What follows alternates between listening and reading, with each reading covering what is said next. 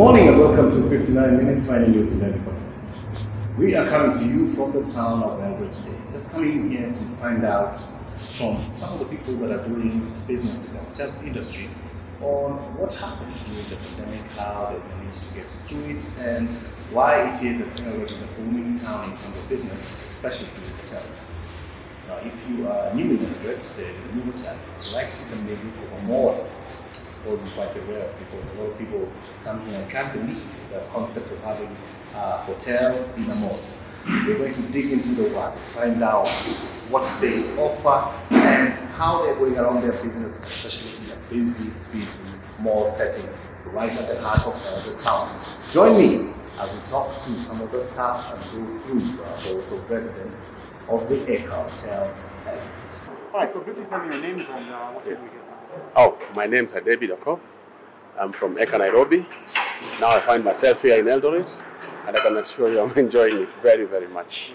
Yes, I'm enjoying it. How, how many staff do you have here? At the moment, I've got, I'm working on a fraction of my full staff. I've got a maximum 14 staff in the kitchen. That's plus the cleaners.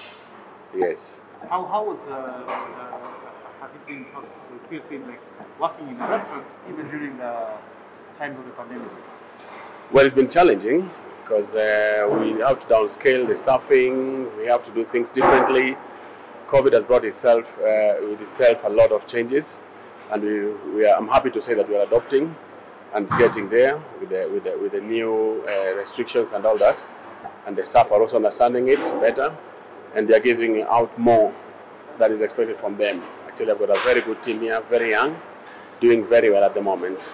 Yeah. Your kitchen is very clean. Tell us, how do you clean that? Well, uh, everywhere you go, cleanliness is food. Where there is food, cleanliness comes first, then food second. Now, because of the hygiene aspects, you know, people getting sick and all that. So hygiene is a big priority for us here at Eka Hotel, Nairobi.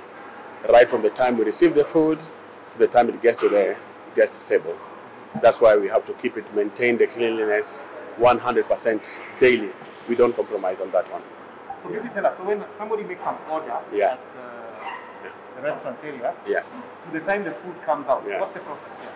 Well, the food will be posted from the POS in the in the restaurant. It'll come from the uh, from the printer which I have in the kitchen as well here. Immediately we'll see, and I normally write the timing that it's come because it's supposed to take maximum 12 minutes, and you have your main course.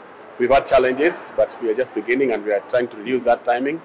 Of course, we've had guests who have waited for 20 minutes, half an hour, but that we're working on to bring it down completely to 12 minutes for your main course, maximum 15 minutes. Yeah. So that, yeah, that's what we're doing at the moment. Yeah. So yeah. ideally, you're, you're, you're working on uh, reducing the, making the customer experience better. Absolutely. We are trying to keep them in the restaurant, to give them the best we can in the restaurant, so that they can always come back and enjoy the food. Right. What gives yeah. you the most joy as a chef? Oh, the, I guess satisfaction. When a guest comes back for the same dish they had last time, they come in again for it. That tells me something good is happening, and it's been happening a lot. We've had uh, situations where our guests have come even four or five times. I know for sure sometimes they're testing our consistency, but we, so far we're up to the game. Yeah. We, what would you say are your, your busiest and toughest moments? Uh, the toughest moments. Right now, Valentine was a nightmare. We, it was overwhelming. We are completely overwhelmed because the guests came in very, very large numbers. It was a very big large number, but that I enjoy it. When it's busy, is when I enjoy the kitchen most.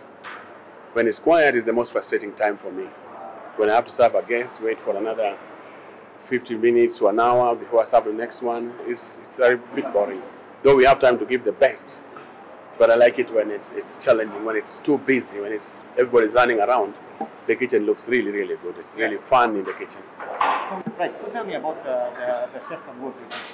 Yeah, yeah, yeah. When I came here, I got most of the stuff from within the region here, and they're, they're doing very well. They're adopting, they're getting into new worlds, some of the things they're seeing for the first time.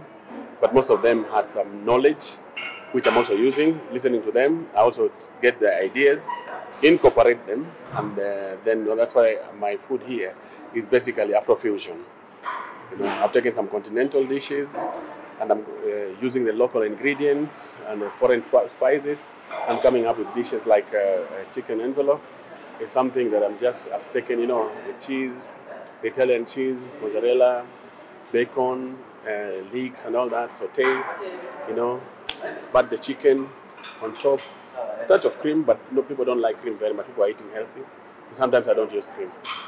And I've got my dish there, and it's actually a big seller here. I've- so I've got really good staff. Some of them are very inexperienced, but that's how you show your power. Train them, make them chefs, give them a chance in life, and that's what I'm doing here right now. So you did not walk in here with a set of your No, no, no. standard dishes. I, I, I have some in my menu, but uh, mostly I have tried to incorporate the local ingredients. I'm buying from our farmers from here and all that and incorporating them in my menu so that we can support the local farmers as well. So Henry, tell me, for somebody who has not been here, Yes. what would you tell them? I tell them come, yeah, come and experience it. Don't be told about it. Your own experience will bring you back because you'll see something probably you've not eaten before, you've not seen it before. And uh, I'm always here. I can always answer your questions if you feel you want to know how that dish was made. I'm happy to show you how to do it. By the way, I am planning a program where we'll be having some top women here every Saturday, teaching them how to cook because most of them don't have time to cook at home. So we bring that concept here. We'll be every Saturday morning. We cook. We cook together with them. Then they sit down and eat their own food, and then take the experience back home. You know, and that I'm sure will add more value into the family. When mommy, who never has time for you to cook for you, is the house girl who cooks every day, has time to sit down to ask you to sit down. She prepares some nice dishes that you've never seen before. You know, of course, it will bring joy in the family, bring the family together. Fabulous. As a parting shot Yes. to the young people who are thinking of Yeah. becoming chefs, Yeah. Yeah. especially the young, what tell? It is tough. It is sometimes hard, but it is rewarding. It is enjoyable once you get used to it. And I can tell you, it takes you places as well. Cooking is an art, cooking is enjoyable, cooking is simply heaven.